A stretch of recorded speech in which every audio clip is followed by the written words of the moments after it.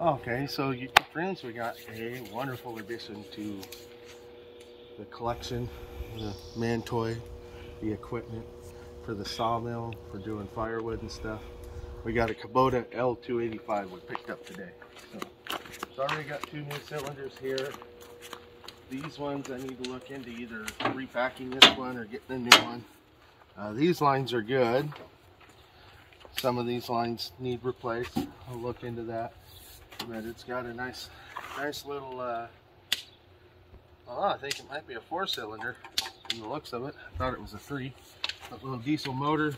Um, everything works real good with it. I Guess it's a eight speed transmission.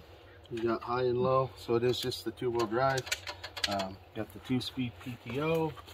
That all works real good. Um, tires are in good shape. I need to replace this valve. It uh, leaks a little, or maybe look at replacing O-rings in there or something. We'll see. But that's what you get with older tractors. So the brakes work good and everything. I, I, I've been playing with it a little bit. and I got the hood up because I got it hooked up to a charger because I left the key on for the two hour drive home. So, but it is all charged up. I just want to go ahead and top it all the way up. So the key's on. Reverse with the glow plug. Fires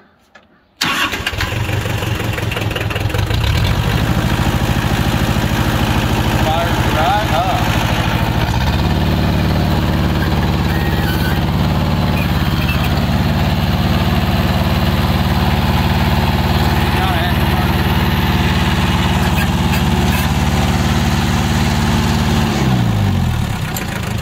You got your normal deal there. You got a foot throttle.